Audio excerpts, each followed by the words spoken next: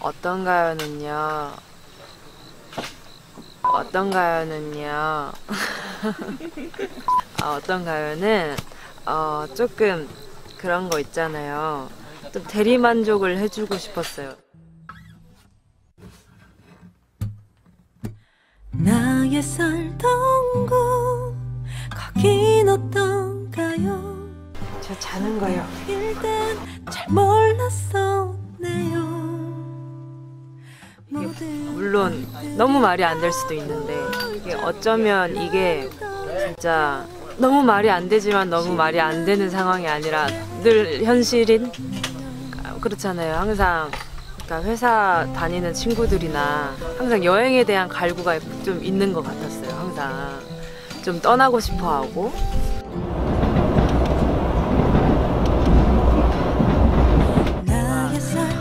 대리 만족을 시켜주고 싶은 그래서 풍경들도 되게 예쁘고 문구 내가 이름 지어줬어요.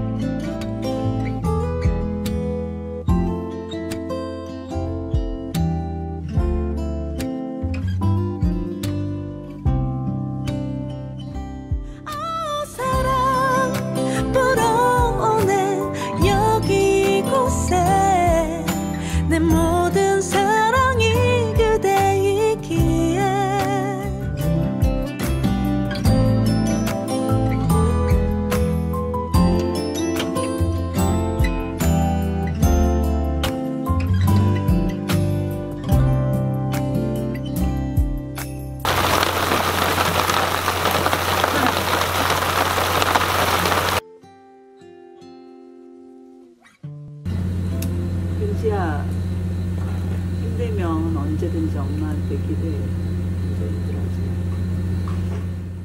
나의 살던 곳 거긴 어떤가요 함께일 땐 잘 몰랐었네요